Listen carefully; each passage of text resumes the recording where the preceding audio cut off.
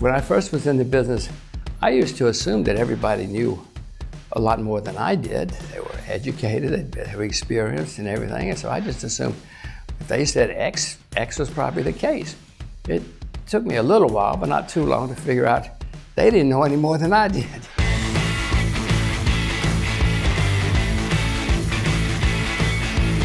Well, there are different answers to that question. I used to work for somebody named Roy Neuberger, uh, New, who founded Neuberger Berman back in the 30s.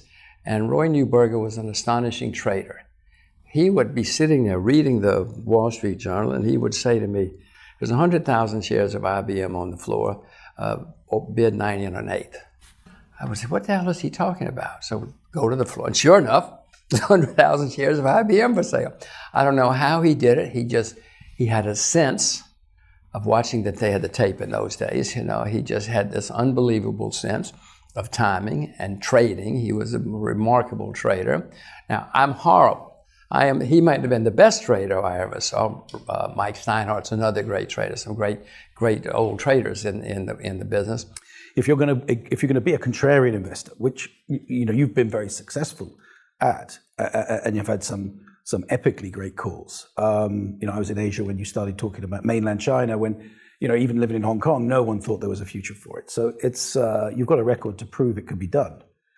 But for an, I think for an awful lot of investors, both professional and and, and people who are you know, doing it with their own money, it's incredibly hard to to end, to end up with a level of conviction that allows you to be a contrarian investor. I mean, how do you develop that level of conviction?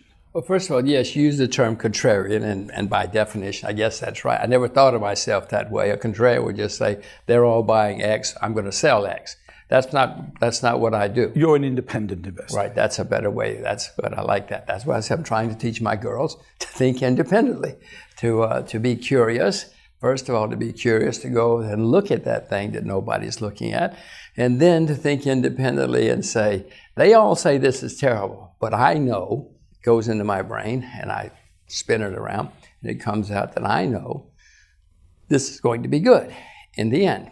When I first was in the business, I used to assume that everybody knew a lot more than I did. They were educated, they were experienced and everything. And so I just assumed if they said X, X was probably the case.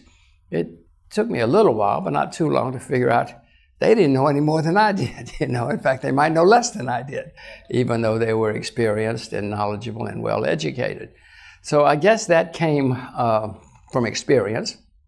I was insecure like everybody else, but it came from from experience that hey, when I see something like this, it's often right. You know, maybe I, maybe I should do more and more of this, and and I learned that from experience. Don't think I didn't make plenty of mistakes along the way. Uh, I mean, I was just thinking one of my great mistakes along the way, uh, but that, it, it, built up my confidence. Well, what would, for the well that sake of okay. Uh, back in it was a time when the market, everybody was bullish. I became bearish. I put all my money into puts. And lo and behold, six months later, I had tripled my money. And everybody else, I mean, it was really a massive bear market, and everybody else was losing their shirt. I became, and, and on the day of the bottom, I sold my puts. I mean, I'm bad timing. This was pure co- uh, luck.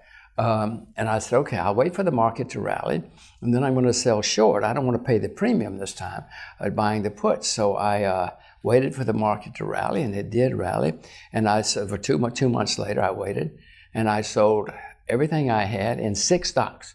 So short, six stocks. Well, two months later, I was wiped out. I'd lost everything. But the main moral of that story is within two years, all six of those companies had gone bankrupt. Right. Literally bankrupt. I mean, I knew what I was doing. So it's a sizing issue or is it a timing issue? Well, in that case, it was a timing issue. I told you I'm the worst trader in the whole world. I can yeah. prove it many, many, many times. You know, literally within two years, they were all bankrupt but I went broke first because but how of do you, time. How, Jim, how do you know the, the difference between being early and being wrong? Because you, know, you teach me that. Okay, I'd like to know. I'm still trying well, to learn. I really don't know either. I mean, you know, one of the I mean, one of the things that that has uh, you're confounded. I think a lot of us in this in this recent unprecedented rally. I mean, it's not unprecedented in history, but the sort of things that have gone up and, and the level of volatility we've had has been unprecedented. I mean, the only period that I can compare it to would be the late '90s, um, where just everything in, uh, in, a certain area went up. Now it looks like you know it's almost it's in, at least in the states it's almost everything across the board. And there have been plenty of people who've wanted to short the FANGs, um, to short some of the tech stocks, to short some of these very expensive blue chips.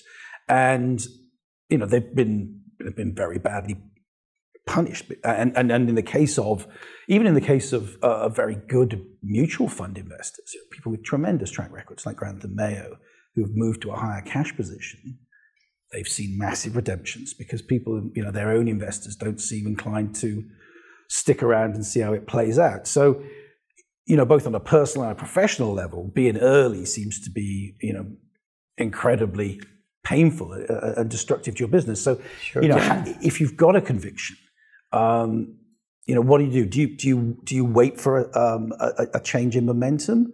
Do you do you use moving averages, which is something that I, I, know people have used, and I've used something myself, which is to wait until the five and the twenty day, uh, you know, diverge, and that gives you your signal that momentum's coming out of a trade, um, or, or or do you just need to size it to a degree which you can you can be persistent? Well, I usually, since I know I'm always early, I make a decision and then wait. and then just make myself wait a month, six months, whatever it happens to be, and I'm still too early. I'm still too early nearly always because I make the decision too soon. I realize, so maybe I better start making the decision later uh, in life. Uh, sometimes you just have to throw in the towel. I mean, especially on the short side, right. you have no choice. If they're just racing against you all the time, you can sit there and meet the margin calls all day long. But one of the old adages is never meet a margin call which you may have heard from, from old time traders. You know, if you get a margin call, just don't meet it because that means something is very seriously wrong. Right, that's your stop loss. That's that's a yeah. Well, stop losses are usually before a margin call comes. Uh, but I want to go back to something you said.